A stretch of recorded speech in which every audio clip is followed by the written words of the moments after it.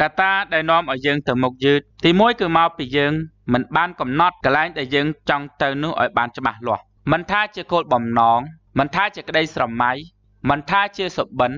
ឬមិនថាជាគោលដៅគឺយើងត្រូវតែកំណត់ឲ្យបានច្បាស់លាស់ទៅយើងអាចធ្វើដំណើរទៅដល់កន្លែងដែលយើងកំណត់បើសិនជាយើងមានសេចក្តីប្រាថ្នា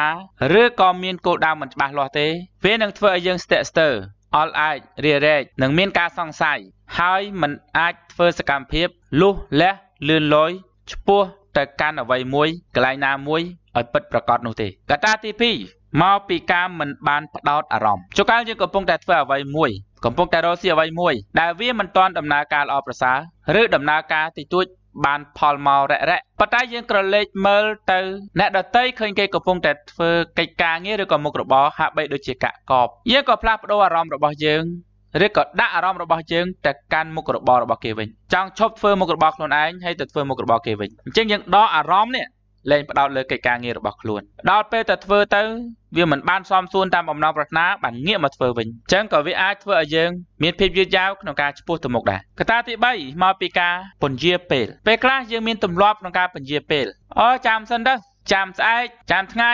ចាំល្ងាចចាំសប្តាហ៍ក្រោយចាំខែក្រោយចាំឆ្នាំក្រោយឬក៏ថាចាំសិនចាំសិនចាំសិនហើយក្នុងជីវិតរបស់យើងមិនដឹងថាមានសិនប្រមាណដងទេដែលសិនម្ដងវាស៊ីជីវិតយើងម្ដង សិនម្ដងវាស៊ីជីវិតយើងម្ដងសិនម្ដងវាគៀសជើងយើងឲ្យយឺតដំណើរម្ដងអ្នកដែលមានទម្លាប់រងចាំឬអ្នកដែលមានទម្លាប់ចាំសិន គឺជាអ្នកដែលកំពុងតែបំផ្លាញពេលវេលា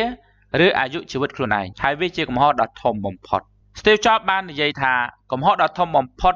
និងកំឡៅបំផុតរបស់មនុស្សគឺ ការច្រឡំថាខ្លួនឯងនៅមានពេលវេលាច្រើនតទៅទៀត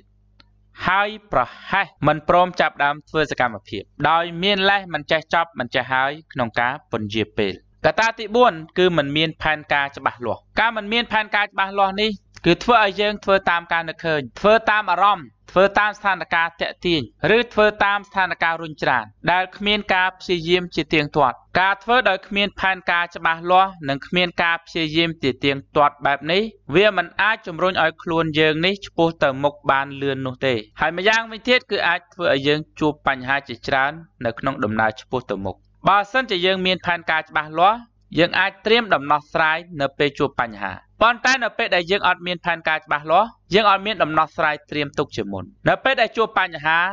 គឺលេះឡាស់ឬធ្វើផ្នែកលែងឡងដាក់គ្នាឬក៏ស្ដីបន្ទោសគ្នា ហើយអាក្រក់ជាងនឹងទៅទៀតបើសិនជាយើងធ្វើកិច្ចការងារដោយគ្មានផែនការយើងមិនអាចបញ្ចូលយុទ្ធសាស្ត្រទៅក្នុងសកម្មភាព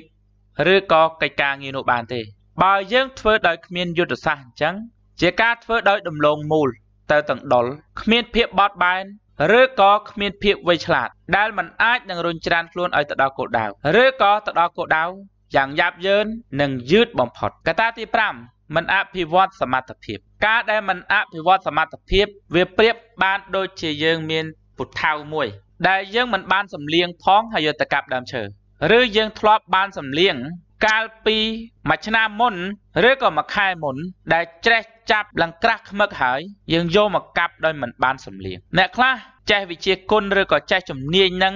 ឬក៏មានចំណេះនឹងយូរហើយហើយអត់មានការអភិវឌ្ឍសមត្ថភាពជាប្រចាំហើយស្រាប់តែយកសមត្ថភាពដែលចេះច្រេះចាប់នោះយកមកចាប់ដើមធ្វើកម្មភាពពេលដែលធ្វើសកម្មភាពទៅគឺតាក់នេះតាក់នោះទៅនេះទៅនោះហើយក៏ងាកទៅសំលៀងវិញក៏ធ្វើឲ្យខាតពេលវេលាទៅអ្នកខ្លះអត់ងាកទៅសំលៀងវិញផងចេះតែត្បុលទៅទាំងកឆែបឬក៏កាប់ទាំងដែលមិនមុតហ្នឹង អញ្ចឹងទោះជាខិតខំប្រឹងប្រែងយ៉ាងណាក៏ដូចយើងភ្ជួរដីដោយមិនដាក់ផាល់ឬក៏ដាក់ផាល់ឆែបឬក៏ដាក់ផាល់កាចាស់គឺវានឹងរមូរមិនអាចជ្រែកដីបានលឿនលយឆ្ពោះទៅមុខនោះទេដូច្នេះហើយយើងត្រូវអភិវឌ្ឍសមត្ថភាពជាប្រចាំបើសិនជាយើងមិនធ្លាប់ចេះឬមិនមានជំនាញត្រូវខំរៀនឲ្យមានជំនាញឬមានចំណេះបើសិនជាយើងមានជំនាញឬចំណេះហើយក៏យើងត្រូវតែបន្តការសិក្សារៀនសូត្រជាបន្តទៅទៀតដែរដើម្បីឲ្យជំនាញចំណេះរបស់យើងនោះ វាកាន់តែមុតស្រួចហើយយកមកប្រើប្រាស់ទៅត្រឹមត្រូវ